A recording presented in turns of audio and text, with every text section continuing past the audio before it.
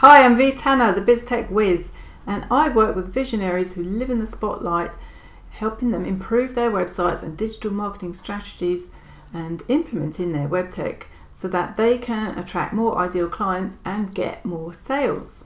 This is a mini video series of website turn-offs, the things that could be on your website that are actually turning off your potential clients from reaching out to you and becoming clients and also what to do about it. Today's website turn off, and actually it is a major frustration, is having no contact details on your website.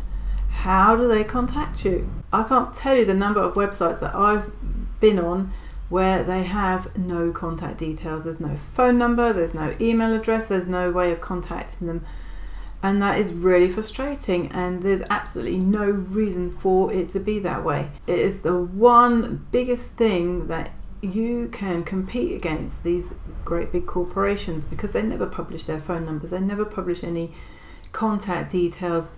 When you and if you do manage to get through they don't know who to, to put you through to. It's really confusing because they are so big. So take advantage of the smallness of you and put your contact details on your website. Your contact details should be on every page, so make it in the header or in the footer. Sometimes you can get like at the very top of the screen a, a bar where you can put contact details in. So hope that helps. Let me know how you're getting on in the comments. And if you need my help implementing any of these strategies, then let's talk.